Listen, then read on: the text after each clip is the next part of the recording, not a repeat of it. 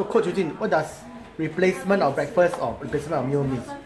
Okay, so basically talking about replacement, we are actually talking about swapping and making an informed decision.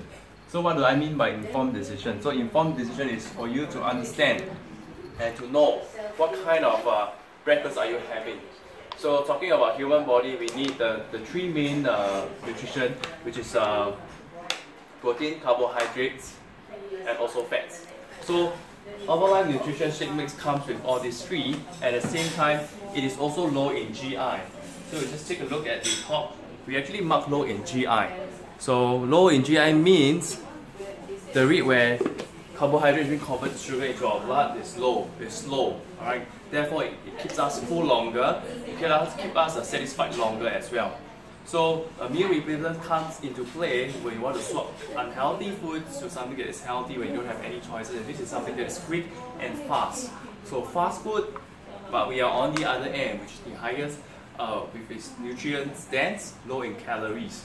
So always bear in mind, uh, for those of you who want to lose some weight, you can take this as a replacement. Alright, for those of you who want to gain some weight, this can be a substitution. This can just uh, to, to add on to your normal meal. And for those who want to maintain a healthier lifestyle, to have more nutrients in your body, this is what you can do. You can add this into your breakfast routine. Alright, rather than you having some Singaporean uh, breakfast like nasi lemak or like uh, you know things like uh, kueh or things like you know fish maw noodles. You know these are some of the informed choices that you can make for having more fiber into your routine, into your breakfast, more protein into your breakfast. One of the you know uh, GI breakfast that you can have is, is one of these. So um, find out from those of who invited you to see this video or you have already know somebody who are uh, you know, as Herbalife distributor, look for them. Alright, you can they can better advise you on what to do and how to do and how to proper substitute or replace uh, your breakfast with something that is healthy.